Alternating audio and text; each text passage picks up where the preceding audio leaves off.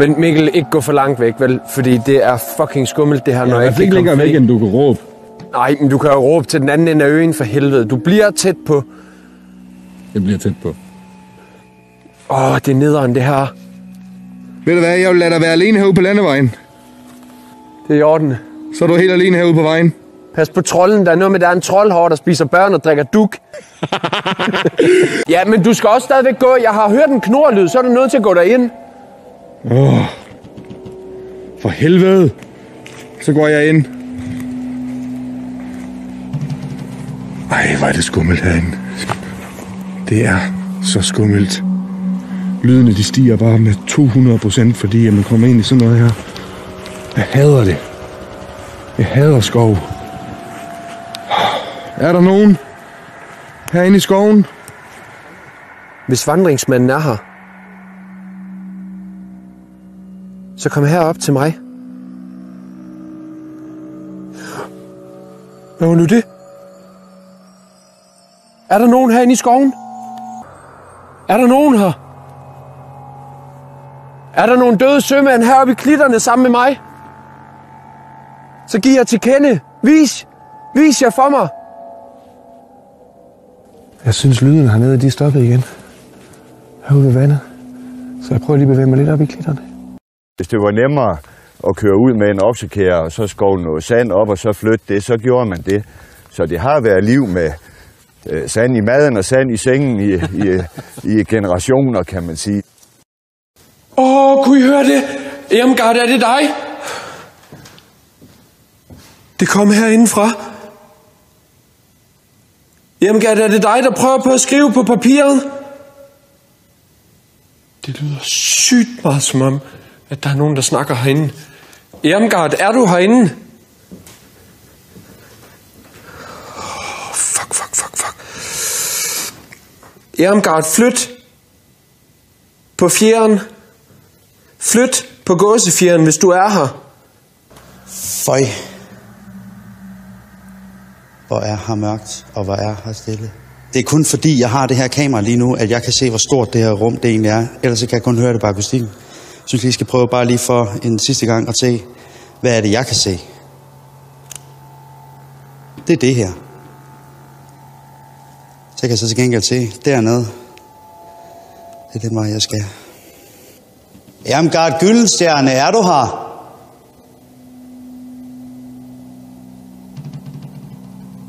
Følg med mig, Ermgard. Nu går jeg videre. Bare kom efter mig. Så jeg kunne rigtig godt tænke mig at få kontakt til dig. Den rødårede gamling. Med de glo røde øjne. Er det rigtigt, at det er dig, der er djævlen? Du kan manifestere dig ved at få den her til at give et udslag. Så ved jeg, at du er her. Jeg ved også, du fik pigeren til at besvime herinde. Kan du få mig til at besvime også? Det er mest det der klaustrofobi. Jeg kan ikke komme fucking ud. Mikkel, kan du høre mig? Ja. Ligger du stadigvæk i kisten? Tak, tak. Jeg har kun en halv meter jord om på dig, Mikkel. Åh, hvor er det løjeren sagt, det der. Jeg kan slet ikke bevæge mig rundt. Du kan ikke selv komme ud. Hvad var det for en fucking lyd? Der lød det vildeste Uah. lyd derude. Nikolaj, jeg har nogle nøjeren lyd herover. Fedt! Der var lyden der igen. Der var lyden der fucking igen. Altså, det lyder som om, I kender godt det der, når man har været ude at bade. Om, og vandet kommer til knæene, og man kan begynde at løbe. Så den der rug, rug, rug. Den lyd. Pust lyset ud. Hvis det er rigtigt, at Læsøboeren har begravet jer heroppe i klitterne. Og vi har læst i en bog, øh, så er skrevet af Lars Thomas, det hedder Det mystiske Danmark, der handler om, at man ser et mystisk munkeoptog herude.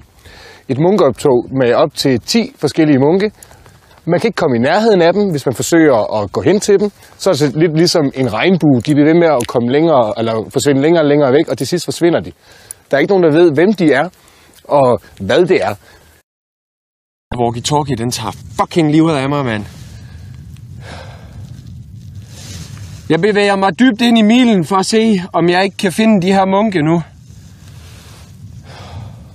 Super duper. Vi prøver igen. For helvede, mand. Oh, shit. Nå. Ja, så gøjseren. Vandringsmand!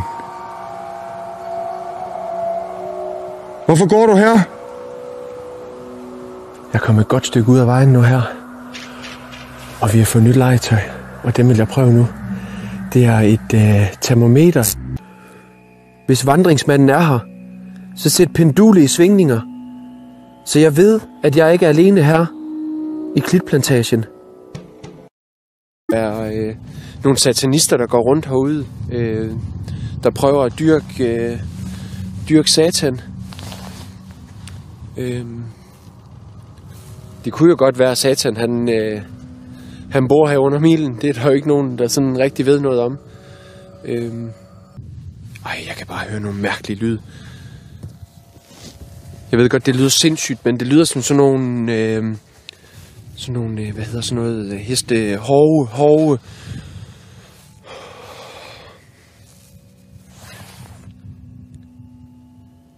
Det lyder som om, at det var sådan nogen, der trampede i sandet. Ej, hvad var det for en lyd? Det lød sådan her. Uh, sagde den. Var der noget derude? Jeg synes, jeg kunne høre den, der brølede.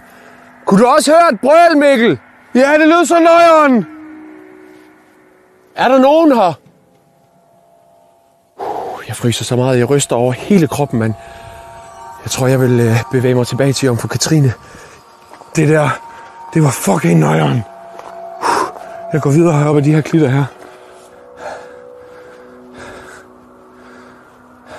Hvad fanden er det?